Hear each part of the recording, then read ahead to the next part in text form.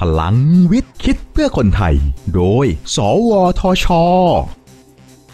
ตอน โปรแกรมนับไข่ไหม การนับไข่ไหมที่มีขนาดเล็กเพียงหนึ่งมิลลิเมตรจำนวนนับแสนฟองนั้น เป็นเรื่องยากมากๆเลยนะครับ ใช่แล้วครับ ปกติ เราใช้วิธีการนับด้วยการชั่งน้ำหนัก และเทียบจากตารางสัดส่วนไข่ต่อน้ำหนักที่มีการคำนวณไว้แล้ว ซึ่งก็อาจจะคลาดเคลื่อนจากไข่เสีย ไข่ฝ่อได้ แต่ปัจจุบัน สวทช มีโปรแกรมนับไข่ไหม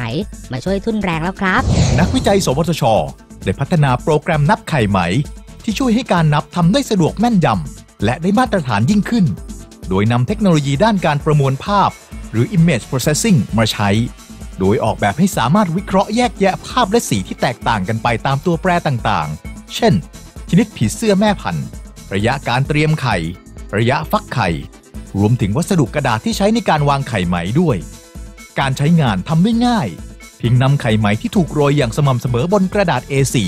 ที่เรียกว่าแผ่นไข่ไหม มาสแกน และเลือกการทำงานตามชนิดภาพและกระดาษที่ใช้ จากนั้นโปรแกรมจะทำการคำนวณจำนวนไข่ พร้อมระบุตำแหน่งไข่ไหมที่ตรวจได้ อีกทั้งยังให้ข้อมูลไข่เสียไข่ฝ่อรวมถึงวิเคราะห์ความแม่นยำในการตรวจวัดได้อีกด้วย